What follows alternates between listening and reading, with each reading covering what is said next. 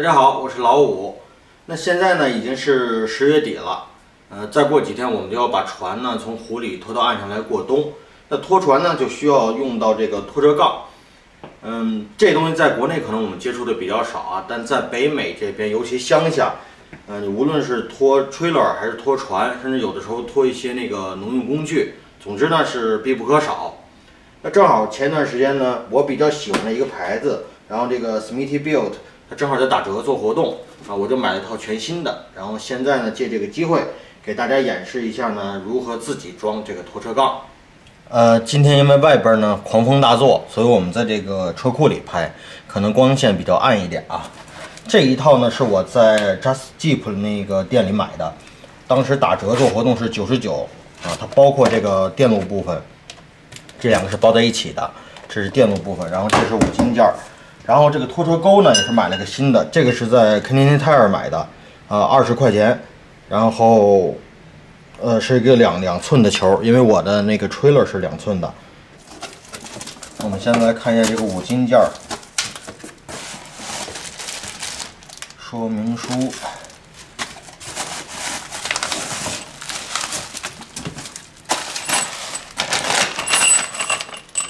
螺丝。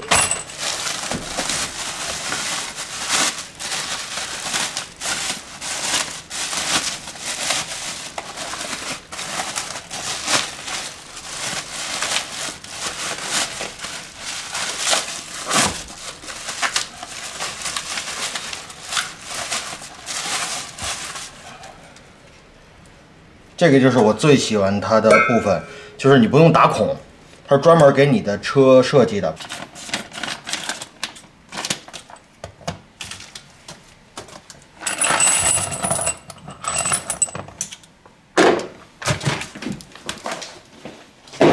我们第一步呢，先来装这个五金部分，它结构非常简单啊。刚才我们说了。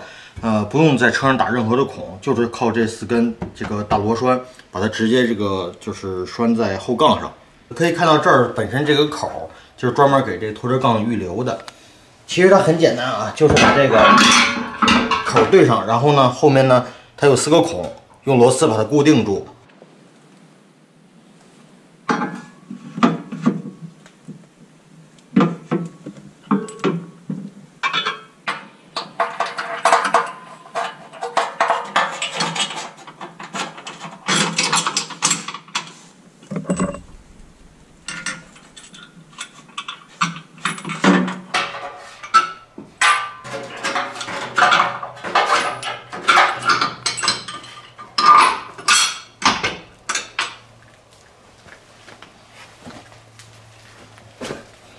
那下一步呢，就是在另一侧放上垫片，然后把它拧紧就 OK 了。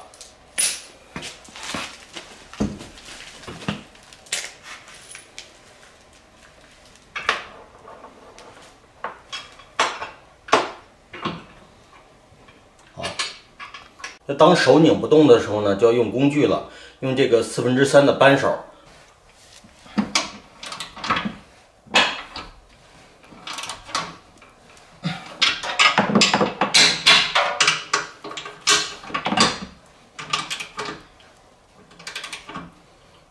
起火，起火。那五金部分搞定以后呢，下一步就是搞这个电路。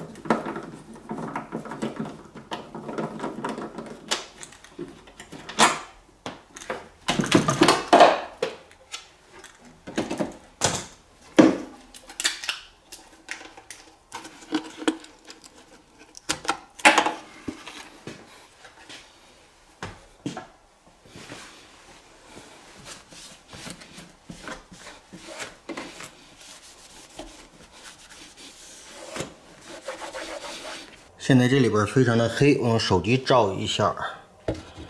啊，这下面呢是一个橡胶的垫儿，然后那个小孔所在的位置就是一会儿我们要走电线的地方。然后这一头是到时候会连接 trailer 的，所以这头冲下啊，然后把那个胶皮垫呢撩起来，把线走下去就可以了。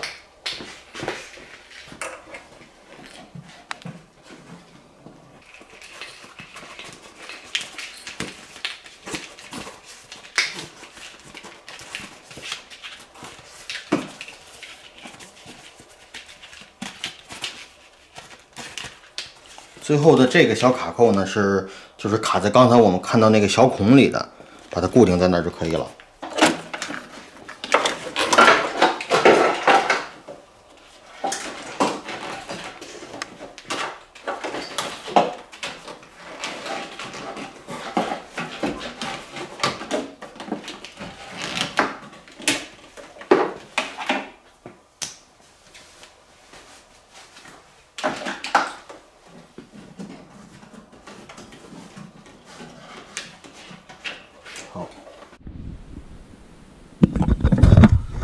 最后呢，就是这个效果，把卡扣卡在那里，然后线走下去。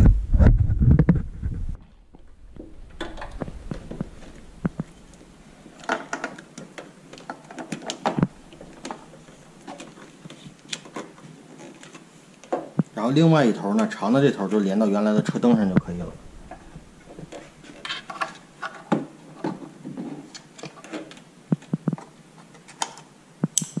那现在这边的工作做完了，就把灯先安回去就可以了。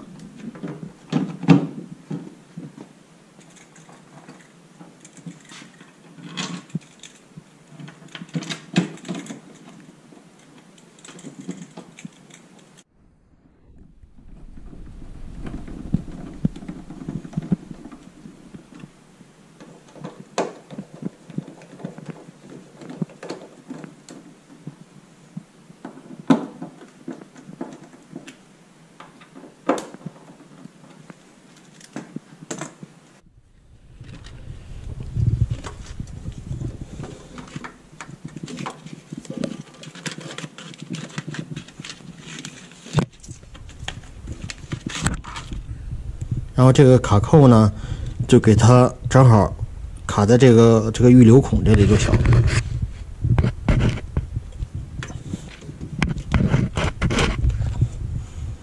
然后就以此类推，然后下一个卡槽就卡在这里，然后最后一个就卡在这个孔上，就 OK 了。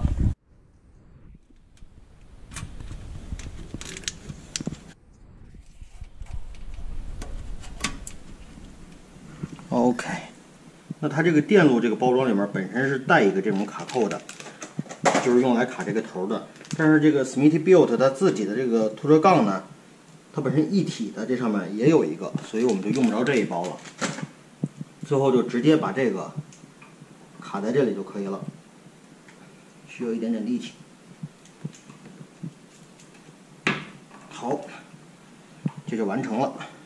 这条线呢，这两条线一般情况下我们用不到，一会儿直接给它绑在这上面就好了。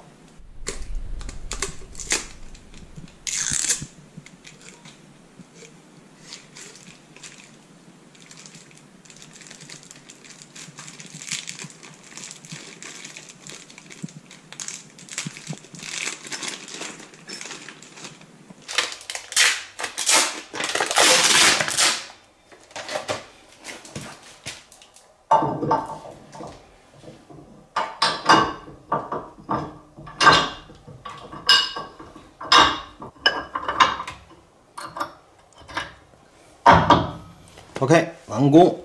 它这套拖车杠呢，它本身上面是有这种防锈的涂层的，但在冬天的时候，因为撒了太多的雪盐，还是对它会有腐蚀。所以我们自己呢，为了保护它，额外的可以在 k i n t i r e 买这种就是专门的防锈的这种喷剂啊，把它的关键部位一些磨损的地方呢给它喷上，这样能更好的做到这种防锈的效果。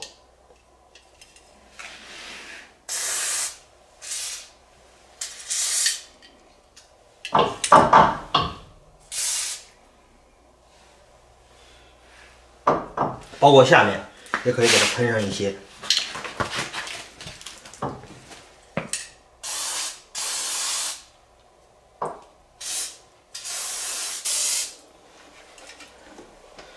好，这样我们就全部完工了。其实很多事儿呢，真的是没你想的那么难，尤其在我们加拿大，人工太贵了，所以有些事儿呢，能自己做就尽量自己做。好，今天到这里，谢谢。